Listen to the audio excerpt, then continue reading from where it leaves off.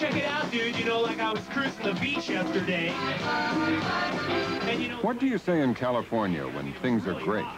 Wow, man, that's rad. That's pretty gnarly. So the Max, yeah, that's like the ultimate, you know, it's like there's nothing greater than the Max. You know, high res, real sharp and ready to go. If something that's great could be tubular, something that's really weird could be tubular.